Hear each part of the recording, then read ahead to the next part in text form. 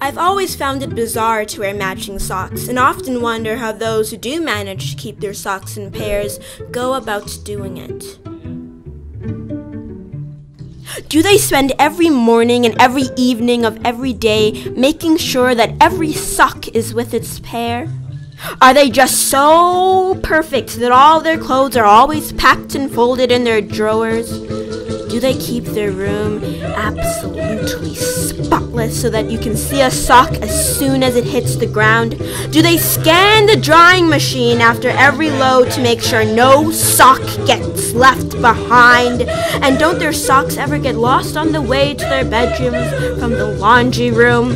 Or do they speak to their socks in some secret language, threatening them to stay in their proper pairs or else? And what if their socks don't like pairs? And what if they wander off astray? Do they punish their socks to make sure they stay put?